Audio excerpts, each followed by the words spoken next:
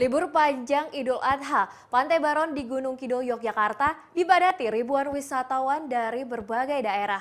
Gelombang tinggi yang sedang terjadi di pantai selatan tak menyurutkan minat pengunjung untuk datang dan bermain air. Libur panjang Idul Adha dimanfaatkan sebagian orang untuk bertamasya ke sejumlah tempat wisata. Salah satunya di Pantai Baron, Gunung Kidul, Yogyakarta. Sejak pagi, ribuan wisatawan dari berbagai daerah terus berdatangan menghabiskan akhir libur panjang mereka. Meski sedang terjadi gelombang tinggi hingga 3,5 meter di pantai selatan beberapa hari terakhir, namun tak menyurutkan minat para wisatawan bermain air di bibir pantai bersama teman atau keluarga tercinta. Tempatnya asik, terus keren gitu, uh, gimana ya, rame pengunjung, pokoknya itu sensasinya beda dengan yang lain. Apa sih yang membuat beda? Ombaknya itu keren, terus apa ya?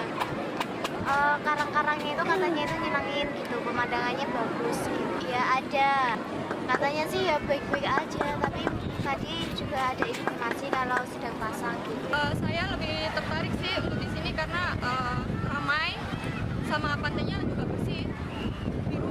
Khususnya tebingnya sih bagus, tinggi kan juga, pemandangannya juga. Ini kan lagi musim pasang ya? Uh, nggak? Sih, atas uh, asal kita bisa menjaga diri aja.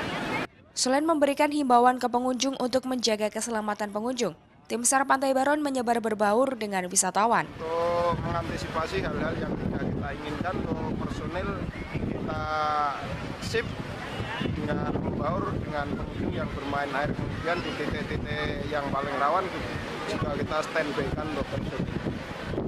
titik paling rawan paling rawan di ada ada di sebelah timur di bawah tebing karena apa di situ ada cekungan yang sangat dalam kemudian arus yang mengarah sebelah ke selatan lebih kuat daripada yang mengarah ke utara. Panjang Idul Adha jumlah pengunjung Pantai Baron naik signifikan hingga mencapai 80 persen dari hari biasanya. Andrea Sigit Pamukas melaporkan untuk NET.